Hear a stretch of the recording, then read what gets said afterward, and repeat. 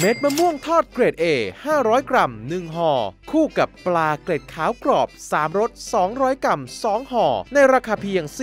439 บาท แถมส่งฟรีไปเลย มาเปิดประเด็นกันค่ะ โดนแล้วรัฐบาลรัสเซียสั่งเพิกถอนใบอนุญาต Amnesty และ Human Rights Watch ฐานละเมิดกฎหมาย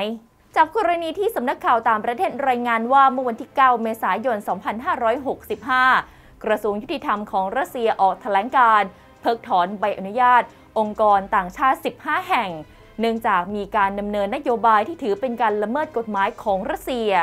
ทั้งนี้หน่วยงานที่ได้รับผลกระทบตามมาตรการนี้ ซึ่งมีผลบังคับใช้ทันทีตั้งแต่วันศุกร์ที่ผ่านมา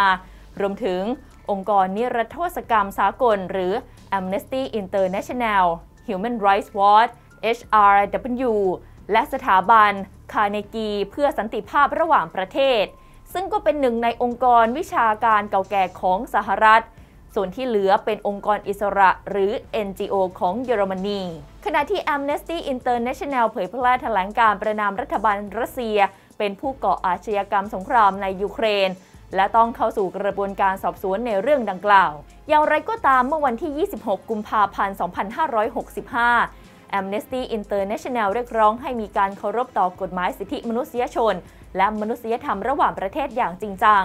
หลังจากรัสเซียมีการใช้ปฏิบัติการโจมตียูเครน ทั้งทางบกและทางอากาศ เมื่อวันที่ 24 กุมภาพันธ์ที่ผ่านมา โดยทางด้านแอกเนตคารามาสเลขาธิการ Amnesty International เปิดเผยว่า ความกลัวที่เลวร้ายที่สุดของเรากลายเป็นความจริงขึ้นมา หลังความตึงเครียดที่ทวีขึ้นหลายสัปดาห์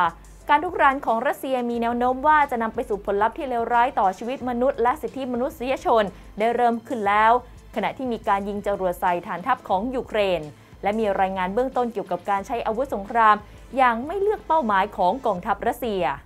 Amnesty International ขอย้ำอีกครั้งถึงข้อเรียกร้องให้ทุกฝ่ายปฏิบัติตามกฎหมายด้านมนุษยธรรม และสิทธิมนุษยชน ระหว่างประเทศอย่างเคร่งครัด ผู้ที่เกี่ยวข้องจะต้องประกันการคุ้มครองชีวิตของพลเรือน บ้านเรือน และโครงสร้างพื้นฐานของพวกเขาต้องได้รับความคุ้มครอง การโจมตีอย่างไม่เลือกเป้าหมายและการใช้อาวุธสงครามต้องห้าม จะต้องไม่เกิดขึ้นเรายังเรียกร้องให้ทุกฝ่ายอนุญาต และอำนวยความสะดวกให้องค์กรด้านมนุษยธรรม สามารถเข้าช่วยเหลือพลเรือนที่ได้รับผลกระทบจากภาวะสงครามด้วย ก่อนหน้านี้ค่ะ ทางด้านของ Amnesty International ได้มีการส่งสัญญาณเตือน หากมีความขัดแย้งที่มีการใช้อาวุธระหว่างรัสเซียและยูเครน ว่าจะมีความเสี่ยงที่ร้ายแรงด้านสิทธิมนุษยชน รวมทั้งปัญหาหรือปัญหาการขาดแคลนอาหารเฉียบพลันที่อาจเกิดขึ้นได้ รวมทั้งการพลัดถิ่นฐาน ทาง Amnesty ได้มีการบันทึกข้อมูลการละเมิดสิทธิมนุษยชนที่ร้ายแรง ในระหว่างปี 2557 ถึง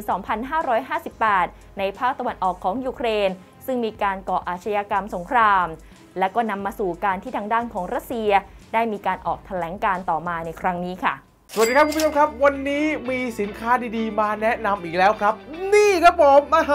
เป็นไงฮะหน้าตาน่ารับประทานเลยใช่ไหมครับ นี่คือทองม้วนพริกเผาหมูหยองฮะขนาด